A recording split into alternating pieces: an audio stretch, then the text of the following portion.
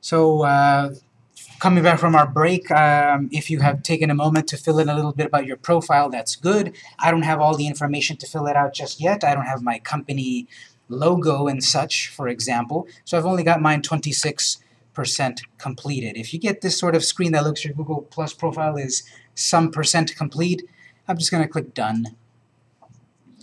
And now we need to, again, orient ourselves a little bit because the, the, the layout of Google Plus is not complicated. It's just that it's different, perhaps, than what you're used to. So we should always have a few buttons uh, visible to us no matter where we scroll. And again, my scroll, my my screen's a little bit different than yours, so um, you might see something slightly different. But does everyone see at the top left corner some icon that says "My Business"? If it doesn't say the word "My Business," it might look like an icon like that of like three squares coming at you. If you hover your mouse over that, that brings up that menu that I mentioned before. This menu here is very similar to the one we've seen in uh, when we had our personal account, except that it's different in two key places. Just one moment. One is right here. It says Google Plus page instead of profile. And then also something says stream here. Question? The language. Hmm, we'll have to look at, uh, I'll have to look at yours in a moment because it's hidden somewhere in the settings. Off the top of my head, I don't quite remember where, but we'll find it. So if you've got a business page now, our menu looks like this, where we've got a Google Plus page and a stream. So if you're looking at this, this screen right now, this is your, your business dashboard. This is your business uh, home screen where you can quickly do things or see things. We'll look at it in detail, of course. But let's hover over my business and let's go to Google Plus page. So at the top left here, hover over my business and select Google Plus page. That'll take you to what other people will, will see when they go to your business page, your profile. At the very top, this is what your address currently is. Mine is a really, really, really long, ugly address. I want google.com slash Victor's Bakery. You can get that address, but various factors are in play. I've noticed that if you create a business page as as a as a location, as a real place, oftentimes then it lets you add your your business name there easily. If not, you'll still be able to add it, but you have to use Google Plus for a little while. Google is trying to prevent spammers because anyone can create a Facebook account and create 10 of them and claim a name and now they've got the name. But because Google Plus came after Facebook and after Twitter, they saw what the competitors did and tried to do it a little better. And one thing, for the moment, it's inconvenient, is that perhaps you might not be able to claim your name. Now, for your information, my company on, on Google Plus is simply google.com slash plus PMD Interactive. I was able to claim my name. We don't have a physical location, though. We uh, have a virtual office. We work wherever is necessary and such. So you can claim your own name, and it'll be something very easy, very unique to look at. You can have capital letters and such. Technically, we write it like this. Doesn't matter, but uh, you might not be able to claim your name, your custom URL is another term for it, your custom URL. You might not be able to claim it yet because your account is too new. Question. question. Uh, yeah. Would that be related to a domain name, for example? No. No, you don't have to have a domain name or a website to claim this name yet. This is a, this is not exactly related. This is a, maybe perhaps also called a vanity URL. You might not be able to get that Yeah, just yet.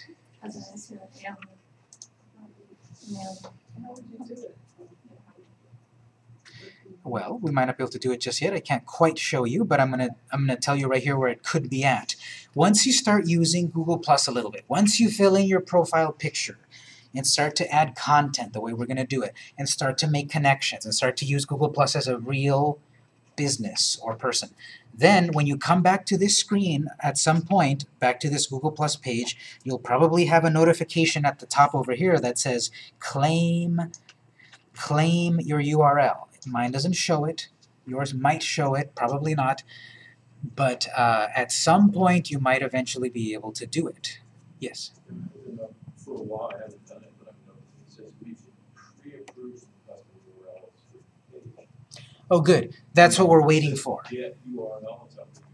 Yes. Yes, so your particular screen have it has it because you might have done it before, but you might see something that says get URL at some point. Yeah. All right, so you don't have to do it right now. I would recommend you call me over so we can check it out to see which one you would you should get. But this is the thing, Google Plus, as you use it, then it'll say, okay, this seems legitimate. Let's give them the ability to choose their own URL. Uh, and you might get a few options. You cannot, it's good and bad. You cannot type anything that you want because it's going to give you suggestions based on what you've already created. So it might give me Victor's underscore bakery, or it might give me Victor's bakery. It might give me three options or one option or something, and it might let me change what it suggests to me. So if you do ever get that screen and you're in class, call me over and I'll check it out and give you a recommendation. But for all of us, perhaps at the moment, we don't have our own custom URL. You know, mine has, my company has one, and you'll simply be able to use that short name. For the moment, you have you have that. So it is going to be that huge name. You can copy and paste it if you need to send it via email and such, but eventually, as you start to use the account, you'll be able to claim your name. So this is what people will see when they come to your profile. I haven't put in my logo. I want to do that at some point. I want to change this cover photo. I want I want to be unique. Whatever you've filled out on that other screen will show up here. For example, I haven't filled in my contact info, so I can click edit and I can put in my phone number or uh, street address and such. Uh, there's my website. If I have other links, like let's say I'm also on Facebook or Twitter, I can edit those links and add my Facebook link, my Twitter link.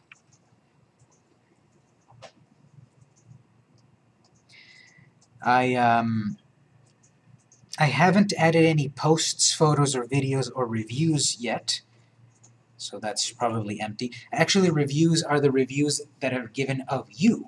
So that's how you can get found on a Google search when you see reviews. This is how perhaps, you know, you're a pizza place and Domino's and all of them show up on Google when you do a search, but yours don't because you don't have a Google Plus page. And now you have a Google Plus page, so here's a place for people to add reviews. So you can start showing up next to Domino's. So this screen is where you can edit more of your content. If you roll over the menu again, this time let's go over to Stream.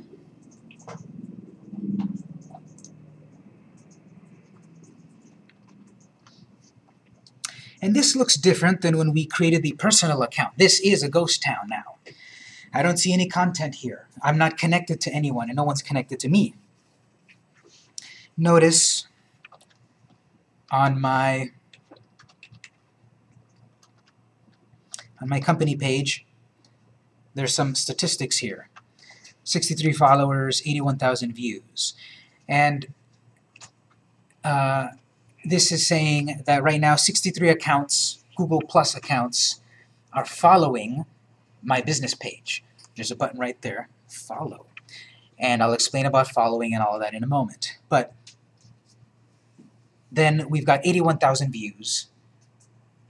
And our account is more is more set up. We've got our logo there, we've got a cover page, our about is is filled in, contact, links, etc. We post content, photos, uh, video, etc.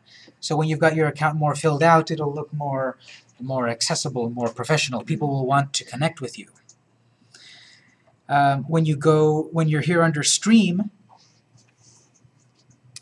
uh, there's no content here. Now, I believe that you can make social media as either a, uh, a dialogue or a monologue. both are viable options, but I recommend a dialogue. So a monologue, what is the key what does the root word mono mean? Single or one. Dialogue, keyword or root word die. What does that mean? Two, or two halves. So a dialogue is two-way communication in that you post something on social networks and you also interact with other people on social networks. And then a monologue is that you simply post content on social networks all the time and don't interact. Both are viable strategies. Much more effective is the dialogue, where you post content and interact with content. We'll talk about what interactions are. But part of that uh, interaction is that you, you are following accounts that relate to the content that your business is about or that you care about. So that when something new comes down the stream, you can interact with it. And overall, to simplify it down into a nutshell, part of the reason you're doing any of this in social media is to do marketing, to make commercials, to make advertising. And again, it's free. You just need to set up the account and, and use it. But if you post something that says, use this coupon this Saturday for 10% off in store, and you don't have any followers, no one's paying attention. That's like when that same company put it out in 100 mailboxes. You know, maybe two of them are going to go to the business and actually use the coupon, and 98 of them are going to uh, throw it away. But you got two real customers out of your investment, your return on investment, when you sent out that mailer. Here, with social network, you're going to post content. Ideally, a lot of content on a regular basis. And then eventually some of those fish will bite, and then you'll get customers or people signing up for your newsletter or visiting your store or buying your product or signing up for your brochure. So you have to post content. And at the moment, we haven't posted any content.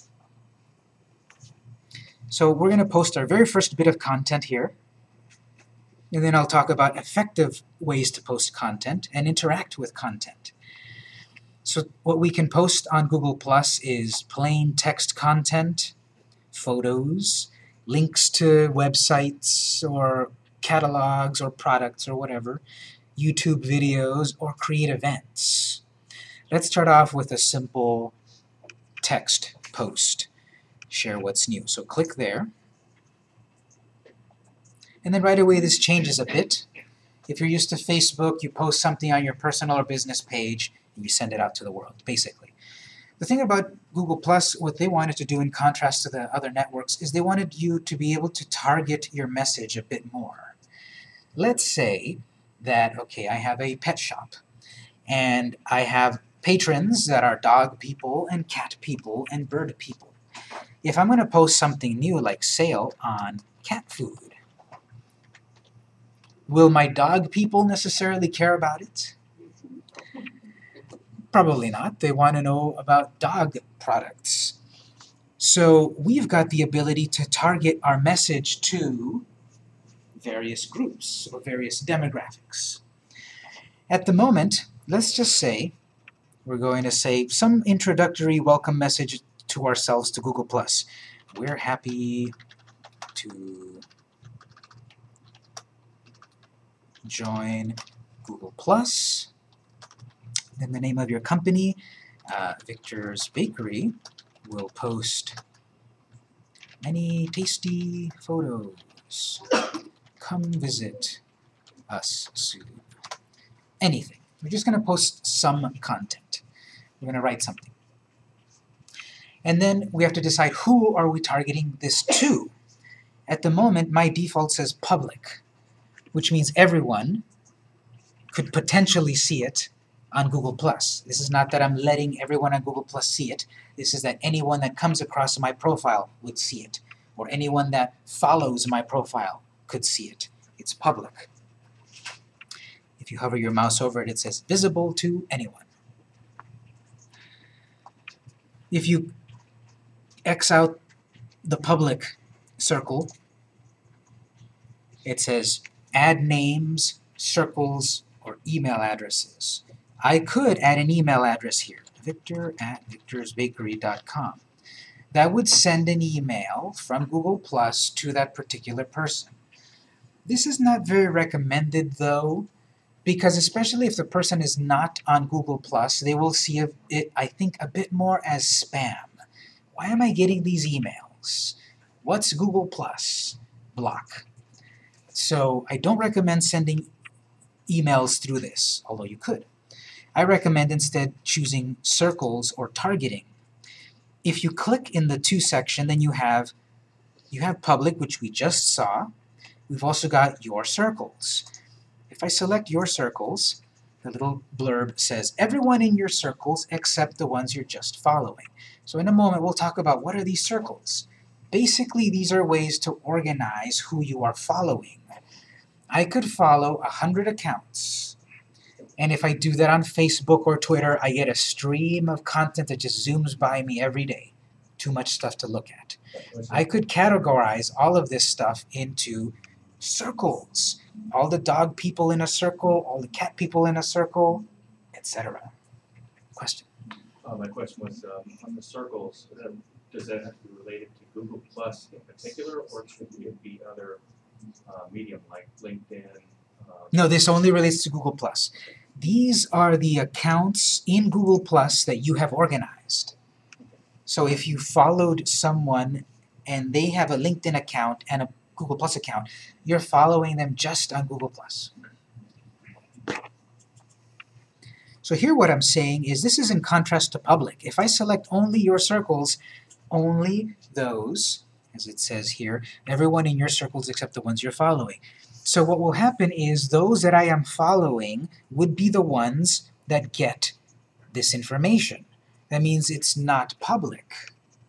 That means anyone who I don't have a connection with cannot see it. I can select both, your circles and public.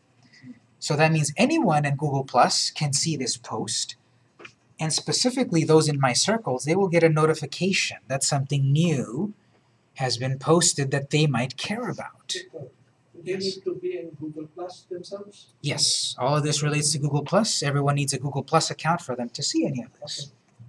Except if it's public. If it's public, they will see it, but they won't be able to like it or reply to it or anything. They'll just be able to see it.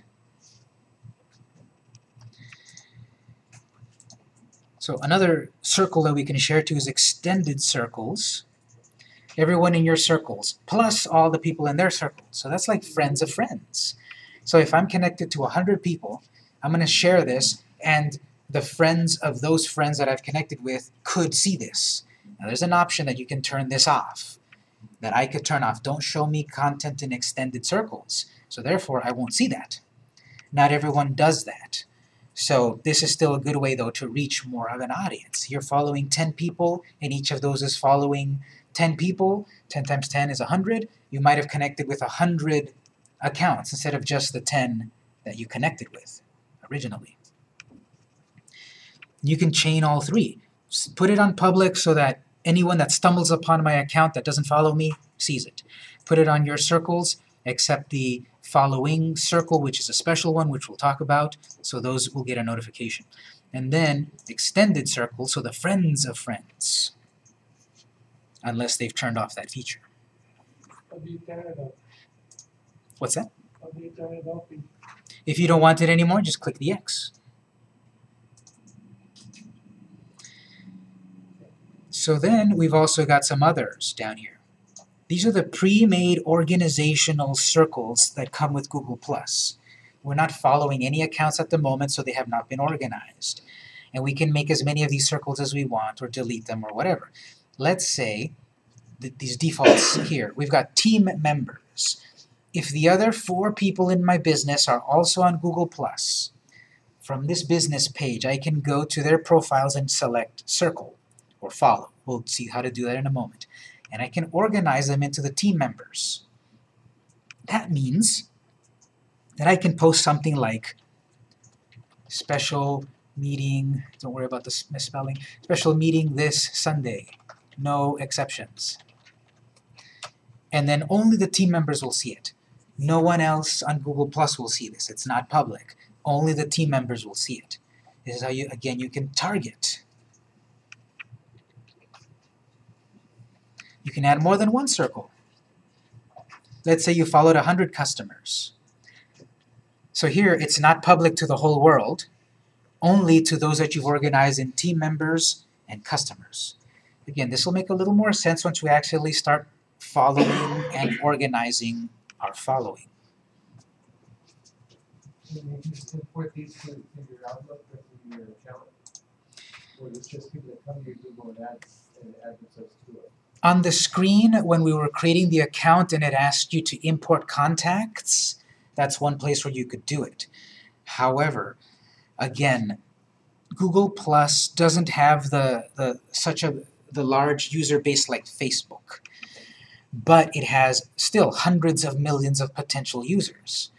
So if you're thinking of targeting those that you already know, you're sort of fishing in a shallow pool, I think. You might have a contact list, list of, a, let's say, a 1,000 people, 4,000 people, but that's still 4,000 out of 300 million potential Google Plus users.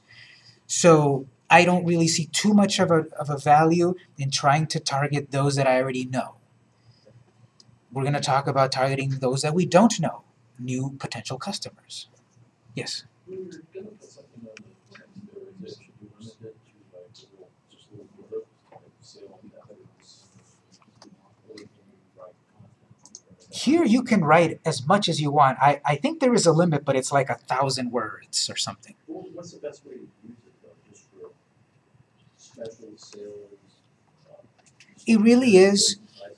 We are going to be talking more strategies of what to post, but just in general, anything relevant to your business. So I'm a bakery. I'm going to post right here a picture of our latest cupcake. I know because I work with various companies that work with that are restaurants, I know that food helps sell products. I mean, pictures of food help sell products. So if you've got some sort of picture of your product that you can show, post that. If you've got um, questions about what should we do this month, what you know, like a poll sort of thing, you can do that. And again, we'll talk in detail what to post, baby steps. But um, here we're just going to post our very first. We're going to make our very first post. We're still deciding who, though, who to target it to. Um, since this is still pretty new, I'm going to select just public. I don't have any connections, so it doesn't behoove us to select anything else at the moment. I'll select public. I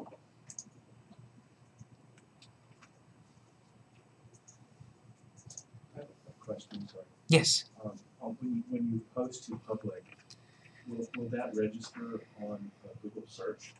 It could. Yeah, it, it is public facing like that, so it could show up on a Google search. So let's just say we have our very first post, we've targeted to the public, click share.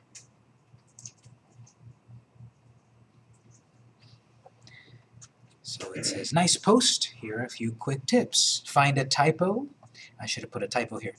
Uh, use the drop-down menu on your post to edit or delete it. So what you can do is you can always go back and edit the post. You delete you you misspelled something, you can edit it. You want to add something to it, you can edit it. You can do other things to it. Notice when you hover your mouse over a post, it doesn't appear by default. When you hover your mouse over a post, you get that little triangle, that downward arrow. If you click on it, you get a few options. Edit the post allows you to edit it again. That's easy. Delete the post. Let's say you said something you shouldn't have. You can delete it. If you want the link to this post, you can get the address. The purpose of that is let's say you're sending out an email blast. You're sending out emails to your subscribers. Uh, you can include a link to that particular post because it might have a coupon that is not available anywhere else, not on Facebook, not on Twitter, etc. So you can get the link to your post here. That's the link. embed post. Um, it's a little more technical for people that use blogs. Don't quite worry about it yet. And then we have two disables here. Uh, and that relates to the to the thing I, I said earlier about a dialogue. Right now, our content is public. It says shared publicly. That means anyone can stumble upon it and then write a comment that says, great job, happy to follow you, good luck. or something not so good. Um, because it's public. If you don't want people to be able to comment on your content, you can say disable comment. Now people can see it, but they can't comment on it. You can turn it back on again. I have a question. Uh-huh. Can you do that for different things that you post? So you, you generate the ability to add a comment on one item, but maybe not on another? Yes, this is this is targeting that particular one post. So that one post has no comments, but the next one that I post could have comments. If you posted a really nice cupcake, you want other people to know about it and maybe perhaps buy it, what someone could do is when they come across your post, they could do this, share. You see that on Facebook. I forgot to ask, how many of you have ever used Facebook before? Pretty much everyone. So a lot of synonymousness, synonymity, if that's a word. A lot of synonyms between Facebook and Google Plus and Twitter, in that there's content and you interact with it. On Facebook, uh, you could share that, and then your followers will see the latest news. Same thing on Google Plus. If someone comes to your profile and clicks share, what they can do is share it to their followers or their circles. If you don't want that to happen, you can disable reshares. People we you've shared this post will not be able to share with anyone else. So now it's no one else can share the post. Turn that back on. And then we also have a plus one, which is Google's nomenclature for a like. We've heard of all we've all heard of that on Facebook, like my page. Or if you're following someone and they post something cool, you click like and you've shown endorsement for it. Well, a plus one is the same sort of thing. You've given a plus one, you've endorsed it. And this will give you a counter that says you've got two likes on this, five likes on this, 40 likes on it. You turn it on or off. And you can like your own post for some reason, but I think it's rather gauche, so. So there's our first post.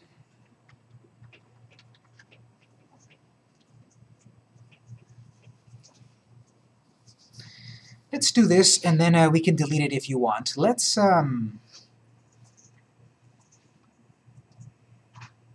Let's see if we can go...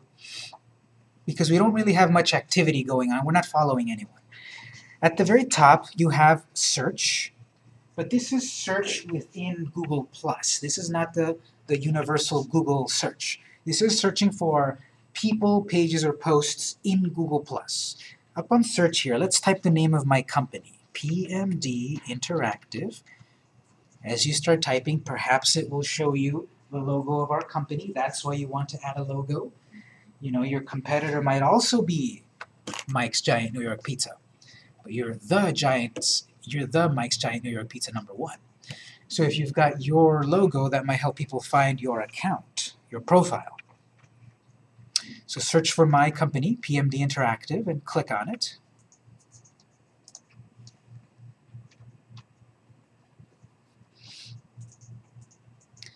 If it doesn't show the posts here, click on posts so you can see what we've posted, our content.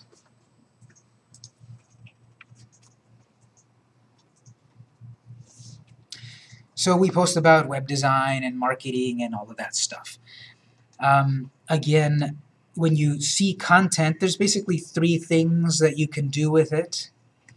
You can plus one it, you know, give it a like, plus one it. That's one level of interaction. The next level is a share. You like the content so much that you want your followers to know about it. The third level is a comment. It really moved you that you wanted to, to comment on it. So let's say any of the st stuff that you see here perhaps is interesting you, to you at some point, and like I said, we can delete it in a moment if you'd like. Let's say any of the things that we posted is interesting enough and relates to your page somewhat. Let's see what it looks like to do a share. I would recommend over here. We've got a post that says a guide to choosing a good password. So what that is saying is we've got this free PDF that allows you to create a really good password so that you don't get hacked. Perhaps you'd like to share that. To show you how that works, you can do this if you'd like. Click on that share button. And then that changes to say, okay, you're about to share. To who? To your public, to your to your circles, to your extended circles, etc. Whatever you'd like. I'm going to put public. And you can add your own comment to it. You could say, just found this useful PDF. Now I'm going to change my passwords.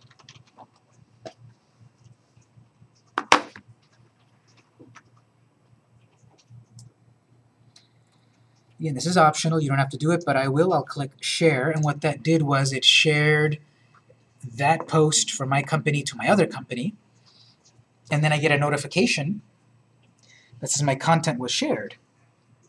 We'll talk about notifications soon.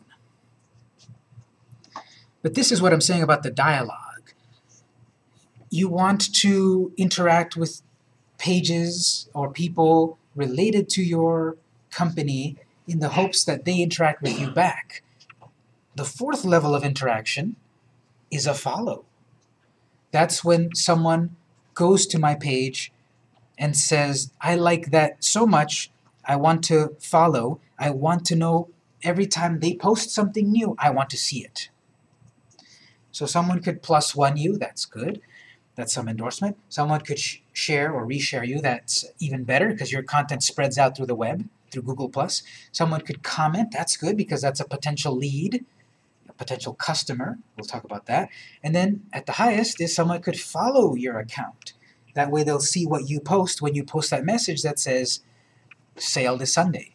Say that say Google Plus on at the checkout for 10% off. So to get a little practice here, we can unfollow later. You can go to my pro, my company's profile here and hover your mouse over follow and it says, okay, you want to follow, how do you want to organize? We've got the following circle, default, which is that you're following accounts and you're seeing their stuff on your um, on your stream. But when you share, remember we had the option to, to share to my circles, this circle is excluded. I could put them under companies, VIP team members, or I can create my own new circle. I'm going to do that. I'm going to say every company that I follow, I'm going to put them in a new circle called companies. So you can click create new circle, call it companies. It might give you suggestions about names to use, business contacts, colleagues, etc., whatever, companies.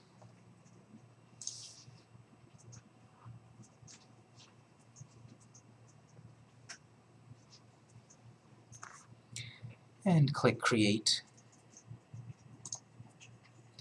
People and pages you add to circles will be notified. Others may see this information publicly. People you add to circles can use Hangouts with you.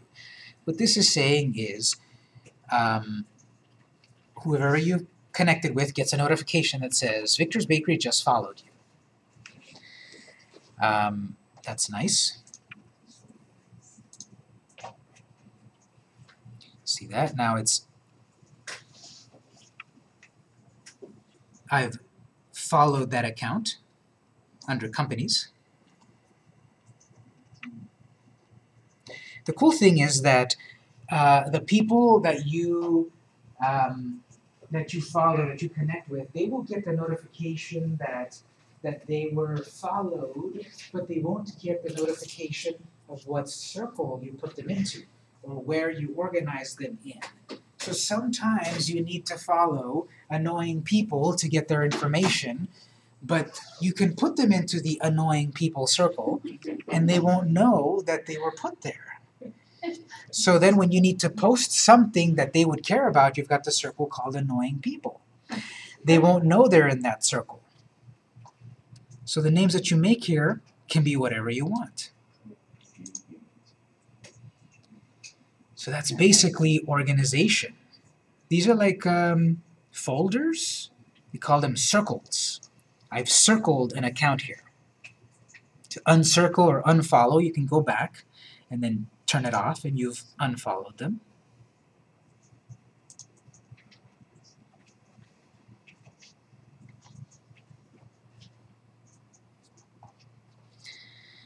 And so hover over the, the button, the home button again, or the business button there, and uh, go back to stream. Whenever you follow an account, you're going to see their content on your stream, like Facebook.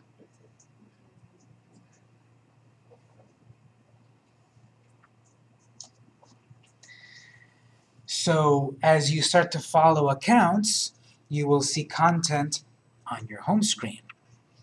You will see content that you can plus one, comment, or reshare. And that's what you want eventually.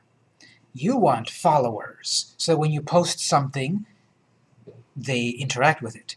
So one tactic to get followers is to do some following. Find accounts related to content that you care about and follow them. Some percentage of them will follow you back. Again, it's not like Facebook that in a, that a, that you have to approve a, a, a follow. Here, 10 people could follow me and I'll follow 8 of them. The last two, I don't like their content, so I don't follow them. So let's practice this a moment. Let's try to find some accounts that your account could follow or should follow. Let's go back to the top under search and type in a keyword or two about um, what your business is, what you're trying to sell, or who you're trying to reach. I'm a bakery, so I'm gonna I'm gonna type I'm gonna see what happens if I type in cookie recipe. And as I start typing, perhaps some content might show up. I'm gonna I'm going to ignore this at the moment if any of this shows up. Just type what you were going to type. Cookie recipes. Press enter.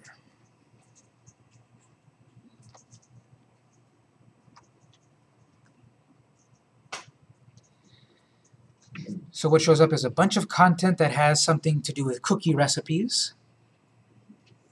And here's our first tactic. We'll have maybe two minutes or so to work on this. What you, what you want to do is search for a topic and go in and for at least 10 accounts, do some form of interaction. It's up to you.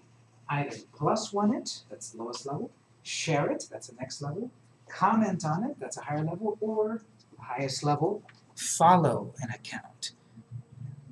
You can click, or you can put your mouse over a profile, and you get the follow button.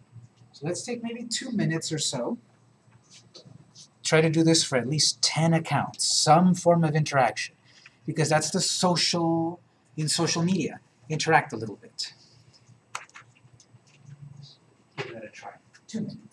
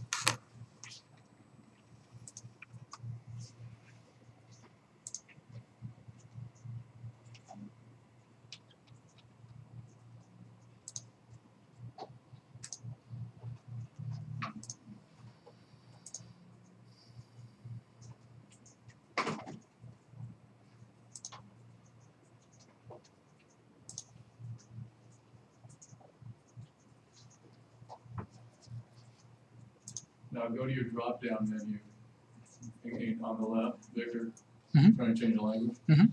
Yeah, and then go to regions, that's where it's at, and select sub-language. This menu on the left? Yeah, and where it says regions, the region at the bottom. There it is. But then it says this setting does not change your language settings. You gotta click on language settings in the blue.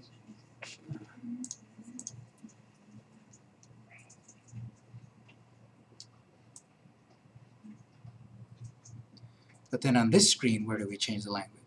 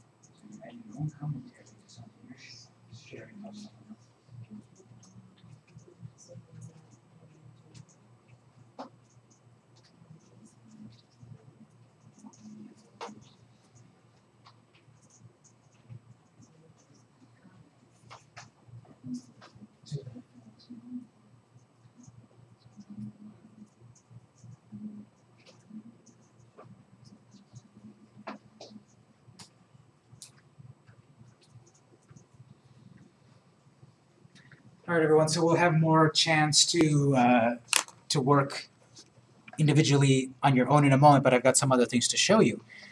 Um, what we've been doing here is one of the tactics of getting followers, and it's not just an ego thing. I want more likes. I want more followers. You want more followers because you want more of an audience. Once you have more of an audience, you will get a potentially captive audience that when you send out content, someone might care about it. So if you're selling products online, this is a way to market your products. Well, what we're doing here is, is a good tactic, but it could be time consuming. Let me show you a couple of other tactics that I feel are more effective. Uh, you want to post content to those that would care about it the most. Because right now, even though maybe I followed 10 accounts and only one has followed me, you know, those odds are kind of kind of small, right? I want to follow more accounts, so perhaps higher odds. I recommend this. This is one of the best things about Google Plus. One of the reasons that I like it, and it's my favorite social network. I would say my favorite number one is Google Plus. Number two is Twitter. Number three is Pinterest. Uh, number four is Instagram. Uh, Facebook is not in the top ten. Uh, there's a bunch of others that I like more. Now, here's what we want to do. Roll over whatever your icon at the top says. Mine says search roll over and select communities. Communities are places where fellow Google Plus users congregate on a specific topic. So click on communities, and since we're brand new, it suggests it's got discover communities, and it suggests, well, based on what little we know about you, perhaps you're interested in this web developers community. And it has 122,000 members with 30,000 posts. 31,000 posts. This one about Android app designers has 120,000 members and 17,000 posts. This one about social media, 122,000 members, etc. So these are communities that people have joined, and if we join one, and I'll show you how in a moment, we can then post content there, and that captive audience of hundreds of thousands could see our content instead of posting something publicly where everyone can see it, therefore no one sees it. Here we're targeting. So let's say if none of these stand out for you, you've got a search button here. It's different from the one before. You want the search right here, search for a community, not the one that says search people, places, and posts. That one's the, the whole, that's the universal Google search. At the moment, we want to be in the community screen and search for a community. Again, type a keyword or two about what your company is about. Again, mine's about bakery, I don't know, I'll search cookies again. But this time I'm searching for a community. Type it and press enter. And I get cookies, sweets, and biscuits with 1,040 members. Tough Cookie Mommy, 636 members. Cookie Connection, 193. And then it goes on and on and on. And it's basically an order of, of people joined. It can go down to, you know, very few members. I recommend when you do a search for a community, target those that have at least 1,000 members. It's up to you to decide what your cutoff point is, but I recommend at least a thousand members. There's going to be like three or so criteria that I'm going to recommend about communities because these are not a panacea. These will not cure all. These communities are a stepping stone, a possible way to get more followers, and I'll show you all the techniques. But one of the concepts is uh, make sure you've got a community with at least a thousand posts, a thousand members, a thousand members. Some communities say ask to join. That's why it might be exclusive. That's why maybe it doesn't have 5,000 members. You have to ask to join. Some simply say join. Before you join any of them, though, you also want to take a moment to vet the community, to check if the community is worthy. So, for example, cookie connection. I'm not going to click join yet, but I'm going to click, you should try this, click on the community picture itself, and you'll get a preview of the community.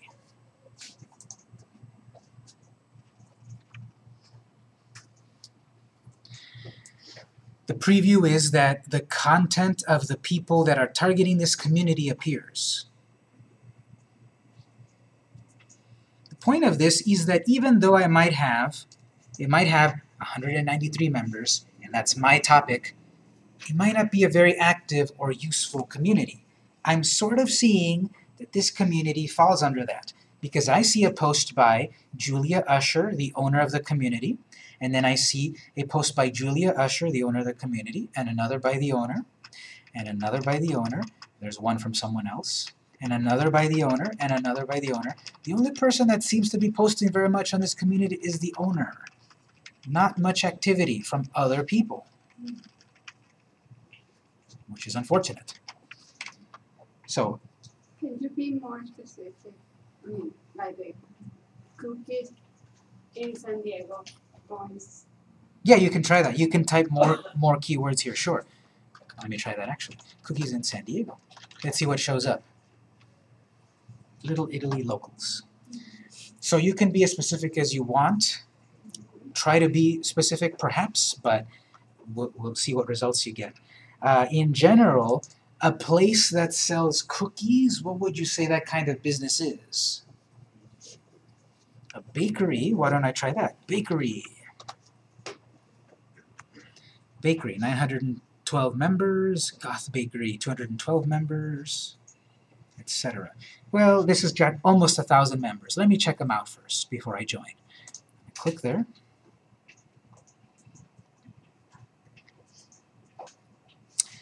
Mark Refrigeration is posting a lot.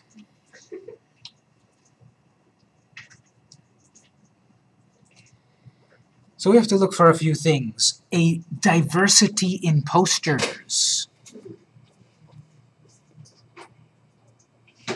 So a diversity in the people posting to a community. I might still have 2,000 members, but it's apparently 5 or 10 that are posting all the time.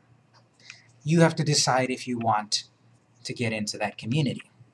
I recommend a diversity in posters. You won't know that until you start browsing. Okay, that one's not very high up on my list. Let's say, okay, another keyword. Uh, well, baking, uh, that relates to cooking. Let me see what's under cooking. Families cooking, 26,000 members. Cooking, 41,000 members. Okay, those numbers are getting much larger. That's better. Yes.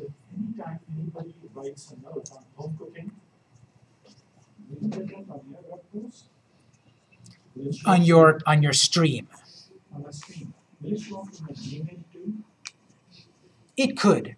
We can make a setting so that whenever someone posts something to a community, we get an email. Sure. Thanks. So I'm going to check out the cooking community, 41,000 members. All right, so let's see, Soma Prad, Pradhan, Shelley Bailey, Coral TV, Rosalie Dennis, Kin Community, Family Friends Food, Tiziana Ledone. A lot of diversity there. A lot of different people posting. Okay, that's a good sign. What I also want to check, okay, at least a thousand members, check. Diversity in posters, check. I also want to see the interactivity happening with the posts. I want to see how many plus ones and shares and comments the posts have. Okay, Soma's only got one plus one, that's fine.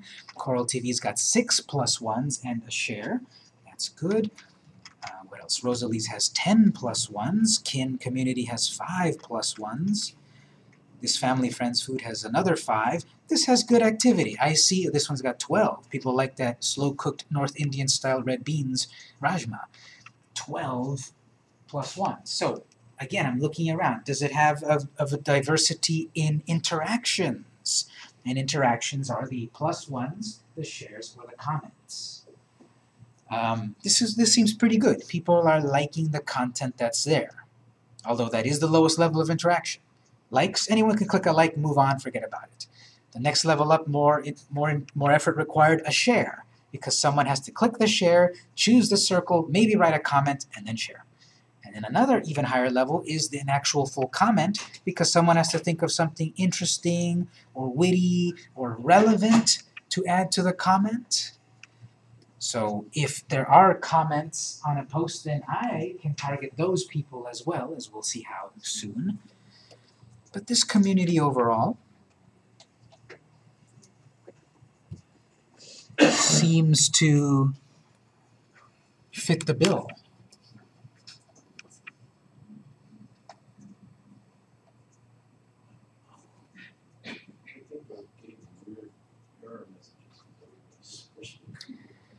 Possibly, possibly you might get weird errors. Yeah. He's fishing. They're detecting unusual traffic. Is anyone else seeing that? Weird errors and such? Yeah, everything I'm doing is an error. I. You might also try a different web browser. But uh, when we're done here, you know, obviously try this at home and see how, how well it works. This is the bad thing about teaching a computer class, that when the computers don't work, it's hard to teach the class. So this community, it seems like it's a good community.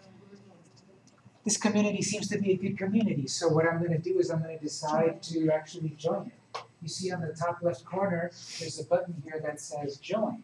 So if you find a cool community that you're interested in, click join. some of the communities might say ask to join. So someone has to approve for you to join. I don't know what criteria they're gonna go by. Every community is different. Perhaps the person will, the moderator will check out your profile and if you don't have anything related to the community, they won't let you join because they're gonna say they're a spammer. So if there's any that say ask to join, try it and see what happens. I'm gonna select to join this community. Now the point of this is that once I've joined, now look at what popped up. I can actually post content here. This was not here a moment ago.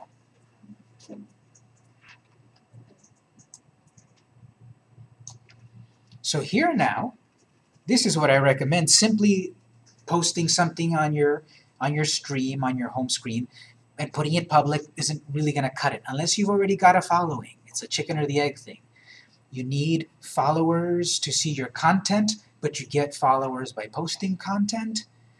If you don't have followers and you post content, you won't get followers. But if you have followers and you post content, you could get more followers. And here's one way to get more followers. Target a community. These are people that care about a topic that you care about.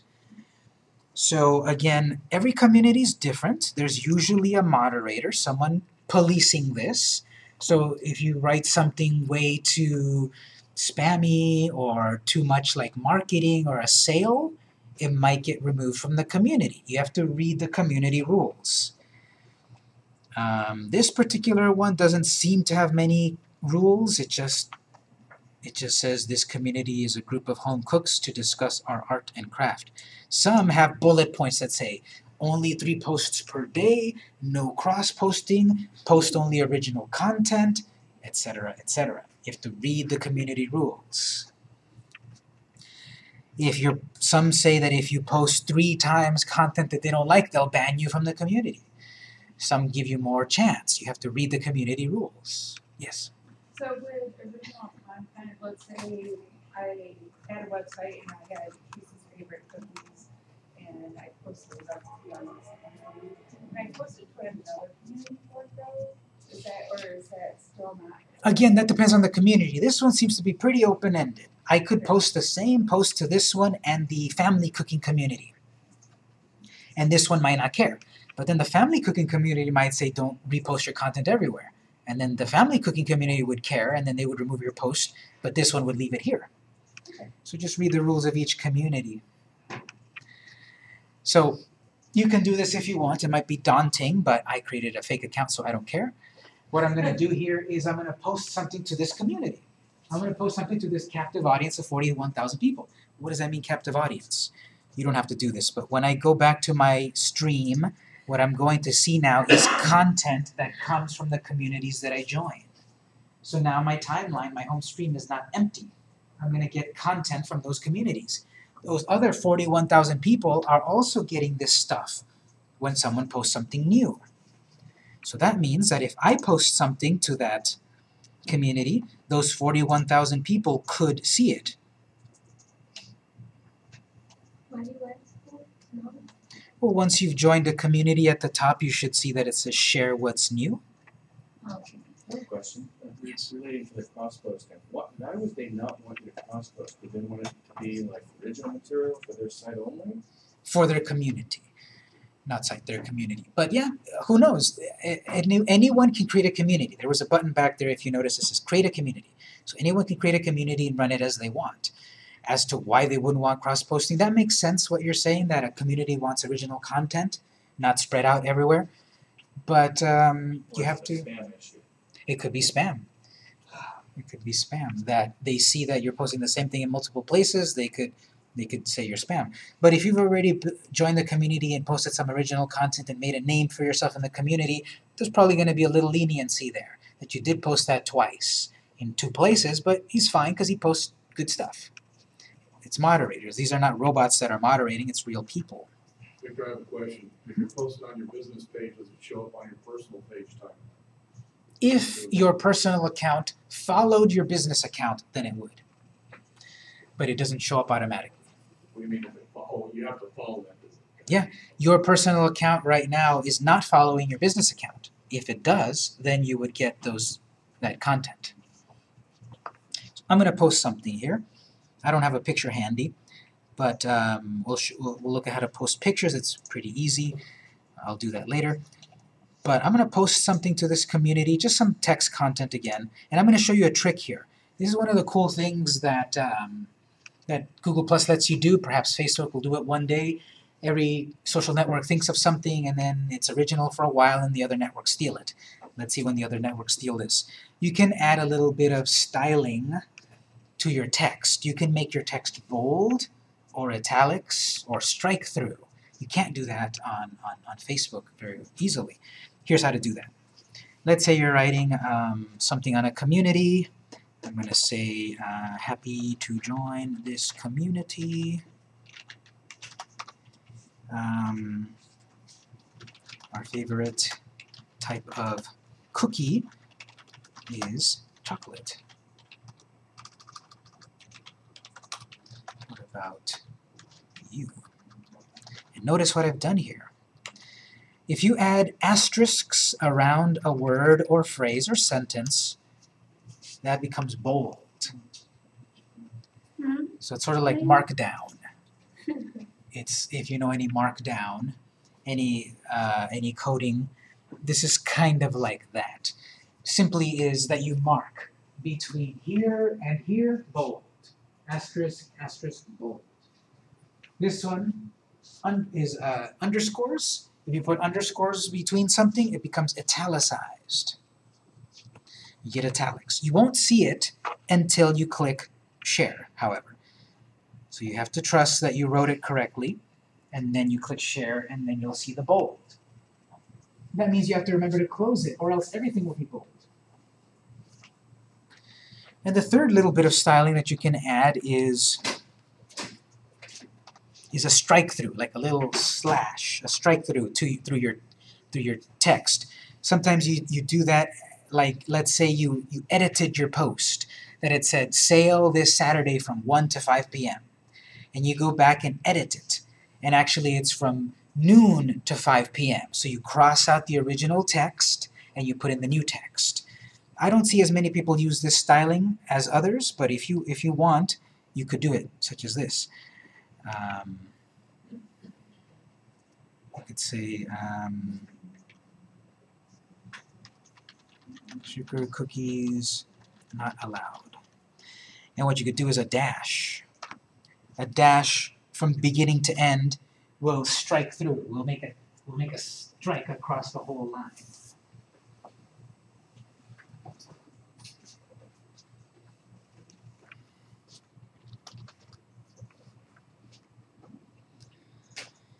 So here's a way to stand out from the crowd.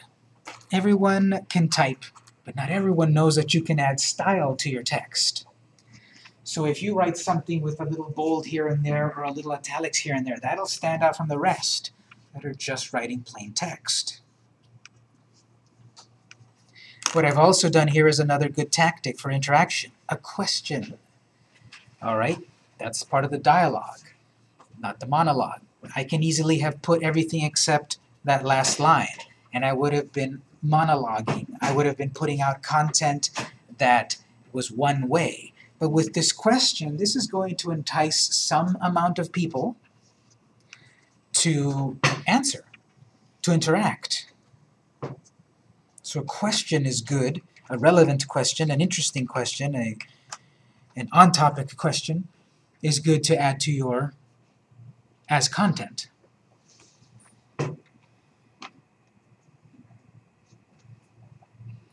Depending on the community, you might have a two section.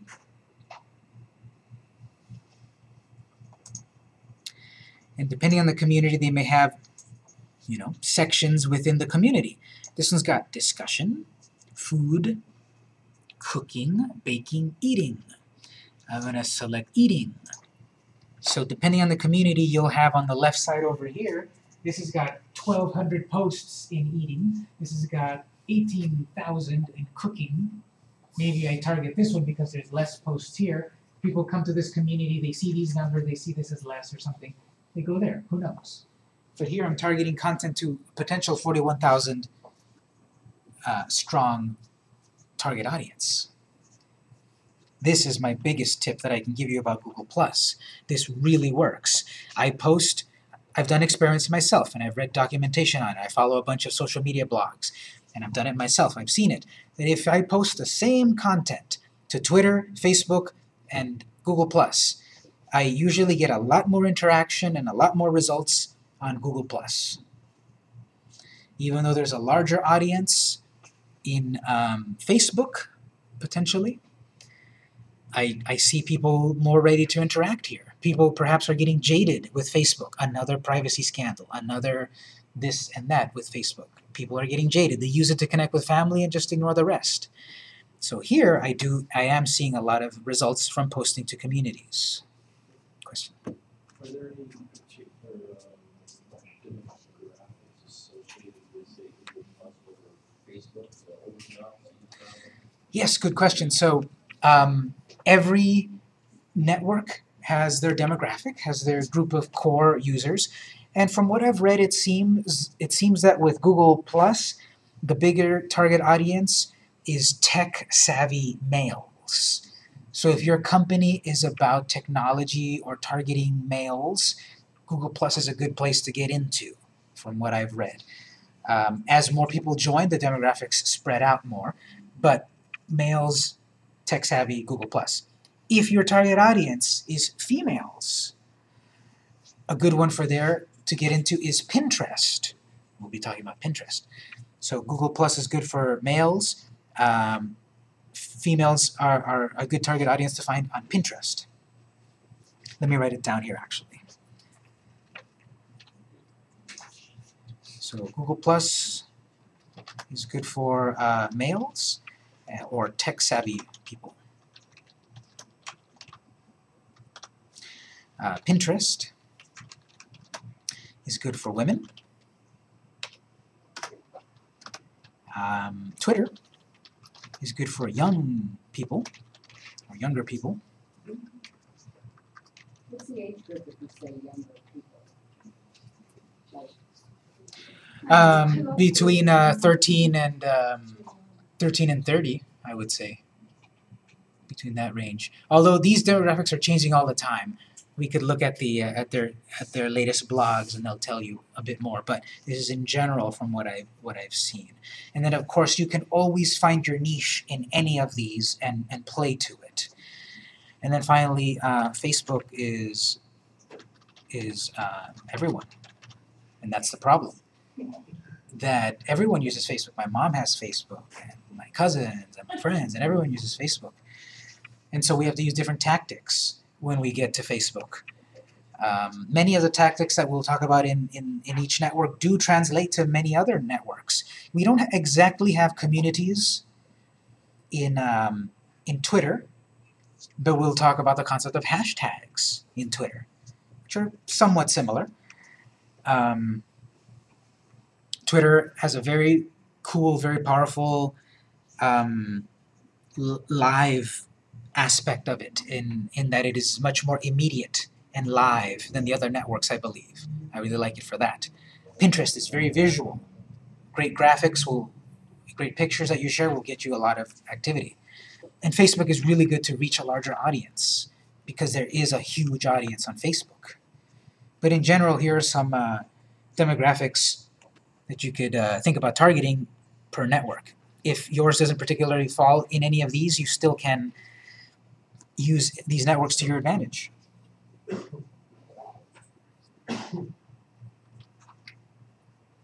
So I'm about to post this to this community. I'm going to click share now.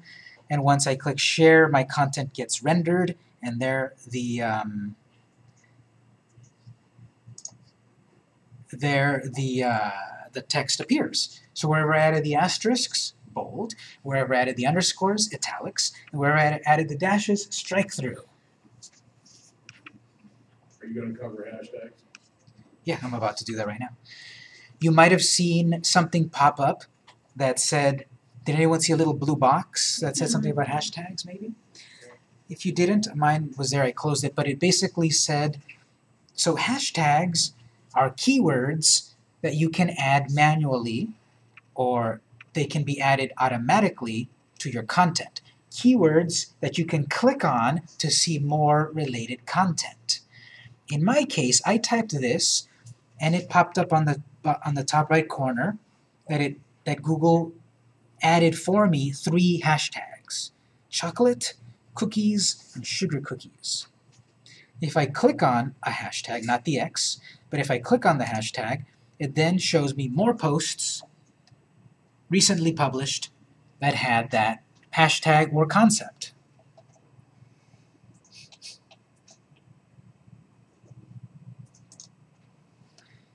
So just a quick snippet of content that used the hashtag chocolate with other related hashtags. So hashtags are keywords that define your post that could get you more traffic.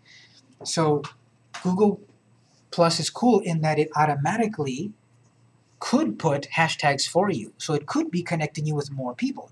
Some days I don't even post anything to Google Plus and I get new followers because my stuff gets tagged and gets put to different places and people search these tags. They find something they like and then they follow me. So we'll add hashtags in a moment. These were automatic hashtags. But whenever you want to add your own hashtag,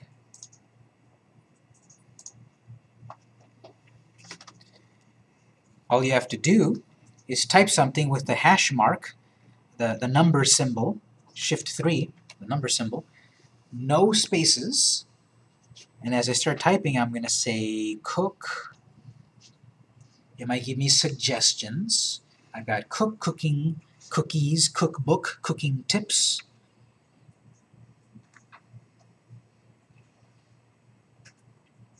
so you could select one of these that exist, and once you add it, it changes to look like that to show that this is now an active link. If someone comes across this post and they click on cookbook, it'll find other posts that also have cookbook hashtag. If someone up on Google search up here searched for hashtag cookbook, my post could appear. So again, possibly reaching a larger audience. Is the, is the hashtag related mostly to Twitter or is it open to other? Twitter seems to have thought of it first in popular culture, and then again, when one network thinks of something, the others eventually steal it. So at one point, Facebook added hashtags. Does anyone ever type the hashtag on Facebook? Do We have hashtags on Facebook, but no one really uses them. They didn't. They didn't. They weren't really a hit. Google Plus uses hashtags, and in a sort of way forces hashtags on you, which I think is useful because it does connect you with other like-minded content.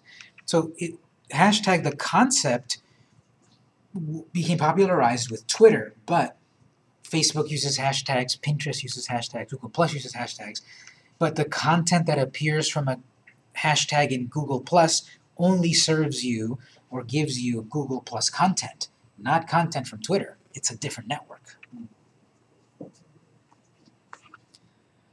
So I can add as many hashtags as I want, but the problem with that is that add too many hashtags and people could think it's spammy. Because again, with any of these techniques that used to work really well, the spammers are going to abuse them, and then they'll be less effective. I really like to use Twitter to live tweet television shows. I watch some show or movie or cartoon or something and it's got a hashtag. And I'm tweeting and hashtagging with that common, that communal hashtag. So all the people watching that same show are all tweeting together, we're all interacting together. And then eventually I see as the night goes on, the spam bots pick up on that hashtag and they start to inject their, their spam into the into the conversation. So usually that happens when it's got like three or four or five hashtags. So I would recommend if it gave you hashtags automatically, keep those. If it didn't, you can add your own hashtags. If it gave you hashtags, you can still add your own hashtags, but I don't recommend going over more than three hashtags. That's when it gets a little spammy, I think. Perhaps one hashtag is enough, but up to three, I would say. Actually, I'm going to remove that one. I'm going to put yummy as my hashtag yummy.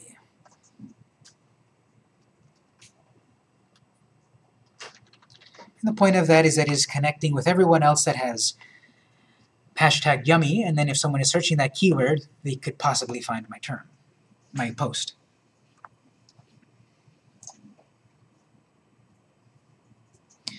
So what you'll see is at the top of a, of a particular post, the hashtags that were attached to it, the green ones are the, are the automatic hashtags, the one that Google added for you. And then the gray ones are the ones that you add. Not that they're any less meaningful, it's just that they're marking them differently. If I click a hashtag here or here, it'll give me a preview, or it might show me a full screen of everyone that's using Yummy. Those don't look very yummy to me.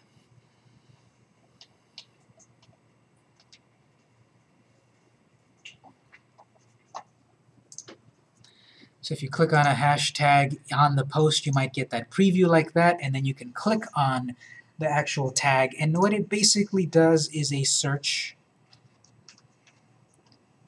a search with results of that hashtag. So the point of that is Belgium Chocolate Gourmet shared this content, Amish chocolate covered cherries, and I see that this has a lot of activity, a lot of plus ones, a lot of shares, relatively, and a little bit of comments. So one tactic is to search up on top here and just find content that way, interact with it, follow accounts. Another tactic is to go to communities and start posting your content there. Related to that one is a third tactic, which is interact with the interactors. Interact with those that are already interacting. Chandra Chatterjee. She interacted with that about candy and sweets. She might be interested in my own photos of candies and sweet and stuff. So what I could do is select to follow that account, and possibly better first click her account to read what she's posting, he or she, to see that maybe I do want to follow that account and it's not something that I don't care about or is offensive to me. Because remember, whenever you follow an account, you're going to see their content on your stream. So that's why sharing is or following is the highest level of interaction, because that's the ultimate endorsement that you want to follow their content. So if But you- it, yes. If you reply to Chandra right now, will it go to the whole uh, section or just to Chandra? Let me show you that. If we There it is, yeah. Well, you see, if I if I click reply, there's different ways to do it. If I click add a comment,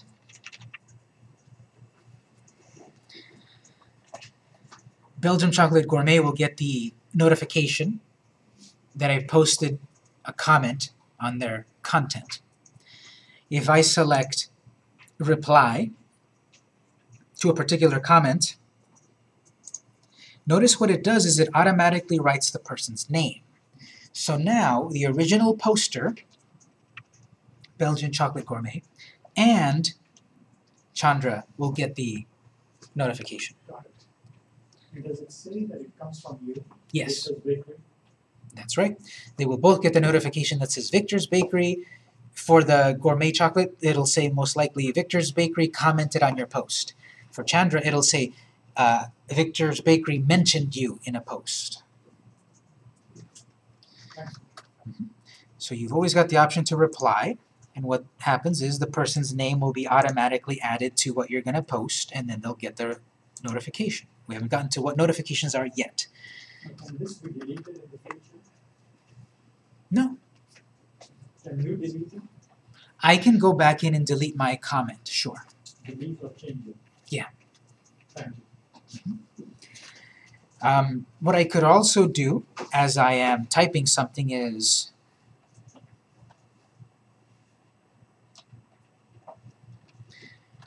type something.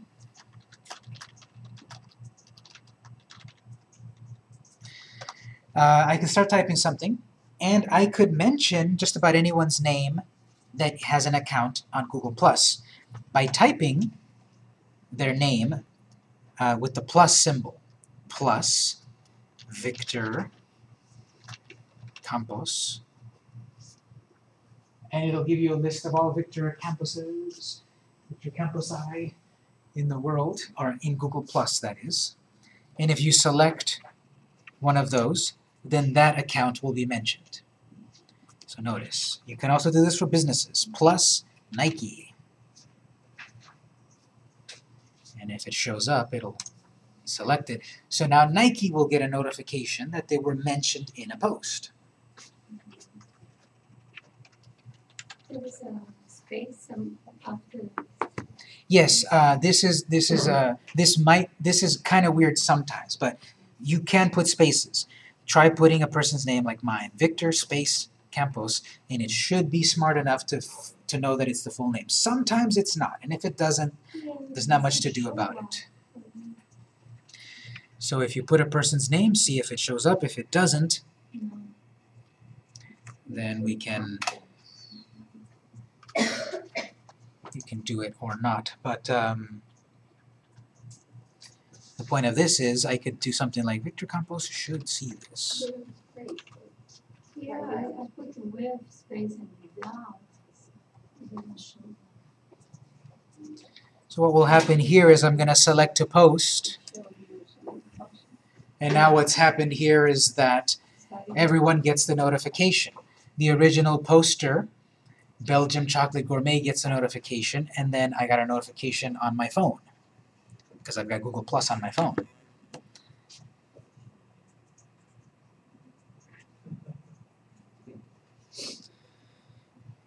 So interact with the interactors. Uh, you can plus one a comment too. If you liked the comment that someone left, plus one them, they'll get the notification that said Victor's Bakery plus one your comment. That particular person may then say, okay, they're a bakery. I like baked goods. Follow. And I get a follower. Um, let's see who else is interacting. Any other comments? So Anna Julia. Delicious. So this was posted there. Again, I get reply. Some might have reply, some not. It depends. This one was posted to a community, so it looks like I cannot comment until I become part of the community. I can't reply because it would be a reply in the community.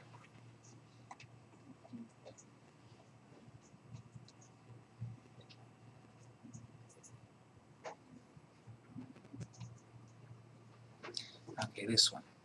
Easy Mexican Fiesta layered casserole recipe. So Jonathan, I can plus one.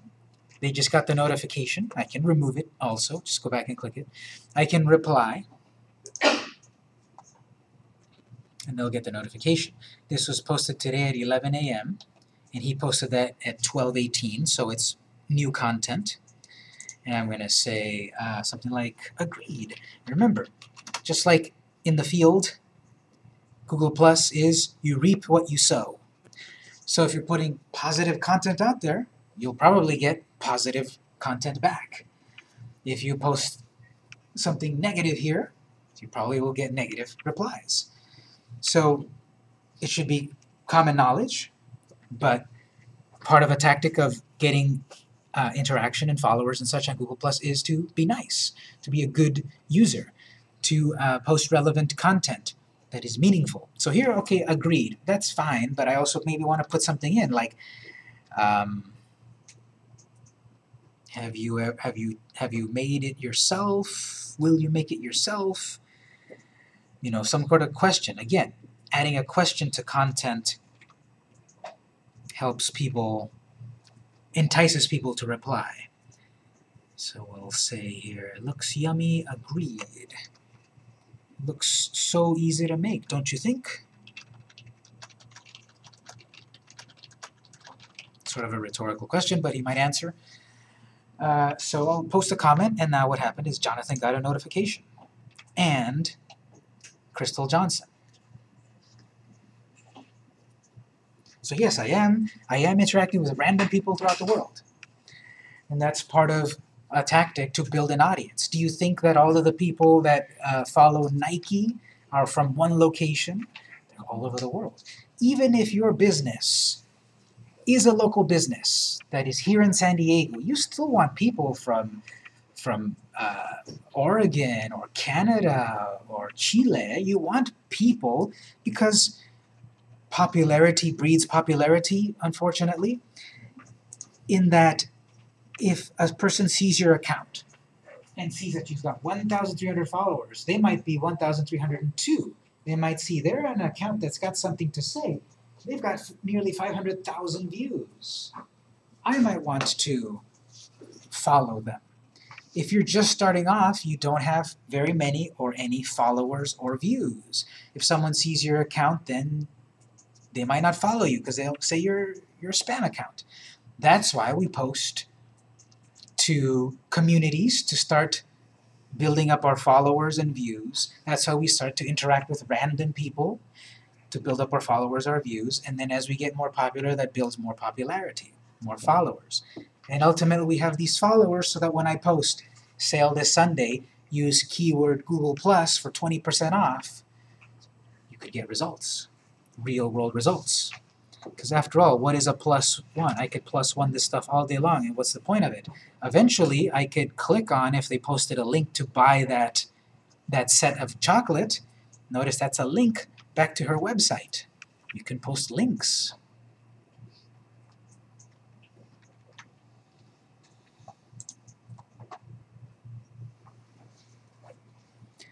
So there's other aspects we can still look at. The biggest things to concentrate, talk a little bit more and then we'll do lab. We'll wrap up. The biggest things you want to concentrate when you get home is you want to get used to switching between personal and public. uh, I'm sorry, personal and business accounts. Let's practice that right now because it's easy to forget. Go ahead and close your web browser. Whatever you're doing, just close it. Don't worry about logging out. It'll log out for us. Close your web browser. And now open a different web browser than the one you were using. If you were using Chrome, let's use Safari. If you're using Safari, let's use Internet Explorer. Anything else. So I'm going to go ahead and open any other web browser. What was that address that I gave you early on to get to the login screen for Google+.?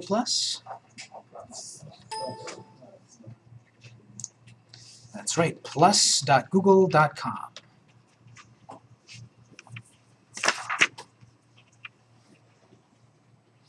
Let's go to plus.google.com. This time sign in. We've already created the accounts, so sign in.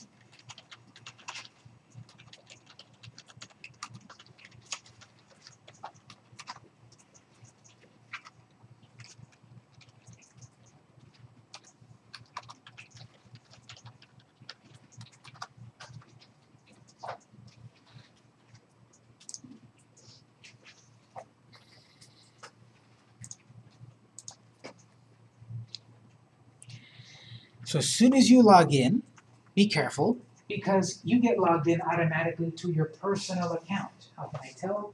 There's a little person there. Did you notice there was a different kind of icon when we were in the business page? Now, of course, at some point, perhaps you want to put your picture there so you can see it easier, but at least you want to put your company logo. So remember I said, if you click the picture up there, this is where you can switch between your profiles. So the first thing you want to do is make sure you switch to your business page, or else you're going to be posting your business content on your personal account, and all of that hard work of following and joining communities was for naught, because you were doing that on your business account, your business page, not your personal page. And it has happened to the best of us, to me as well, that I've tried to post content that was business related or client related, and I accidentally posted it on my personal account. And vice versa. I posted personal stuff once or twice on a business account. That's why there's the delete button. But you want to remember what account am I on? As soon as you log in, you're going to be under personal. So click up on top there and switch to your business page. Notice the icon. To me, it looks like a little wrapped up present. Yeah, first.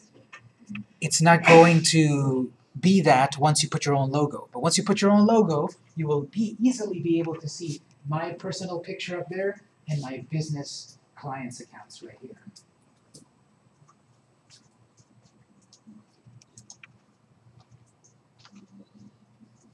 So there we go, that's the big thing. When you get home, you want to make sure you switch over to the business page and then start using it. Look at these other pages we didn't get a chance to quite talk about. Start to post content, fill in your details here so you're not a generic profile. Start to post and interact. Use communities.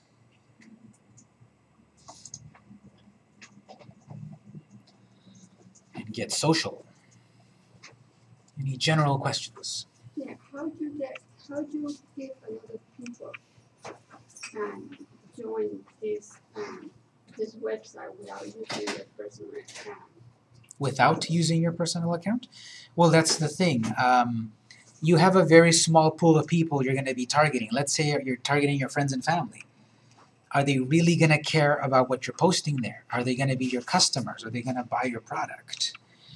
So to get those people to join, you have to go into some screen over here. Honestly, that's not a tactic I recommend. I, I'll talk to you during the lab time, but for most people, I recommend don't get your friends and family out on this because you're you're you're preaching to the choir. You're pre- preaching to um, those that might not care about your business. Like my my relatives are not really going to care about my web design business. They don't want a, a website, especially to pay for one.